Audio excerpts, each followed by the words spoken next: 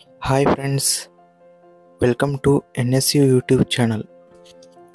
Today we will learn about 5 questions and answers anatomy and physiology.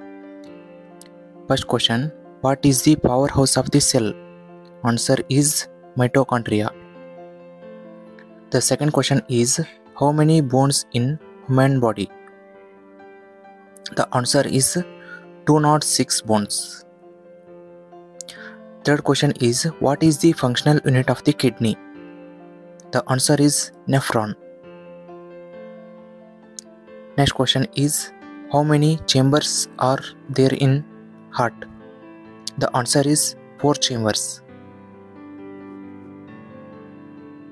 Next question is largest bone in the human body. The answer is femur bone. Okay, thank thanks for watching friends. We'll meet again with next video.